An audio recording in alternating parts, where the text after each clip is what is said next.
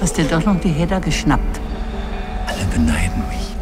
Sie sind doch noch jung. Wie konnten Sie nur so blöd sein, das alles hinzuschmeißen? Er liebt mich aufrichtig. Oh, wow. Und er wird es beibringen. Wie sieht's denn mit deiner Beförderung aus? Wenn eine neue Arbeit veröffentlicht wird, dann kommen die eh nicht an mir vorbei. Hallo. Zuerst sollte sein Essen nur für seinen Chef sein. Und nun kommen immer mehr. Sind Sie nicht äh, Jongs Ex-Geliebte? Es geht um Eiland. Aber wieso kommt er ausgerechnet hierher zurück? Er wollte einen Neuanfang versuchen. Arbeitet er noch als Neurologe? Ich weiß, ich bin nicht eingeladen. Thea hat uns erzählt, dass du dich wieder hier niederlassen willst. Stimmt das? Ja, das will ich. Sie sollten auch ins Rennen um meine Stelle gehen.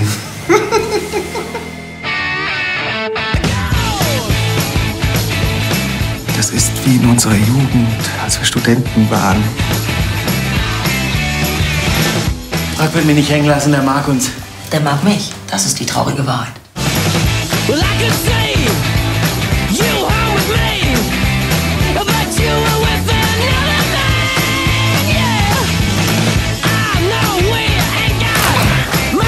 Hast du deinen Mann verlassen? Bleib kein Leben.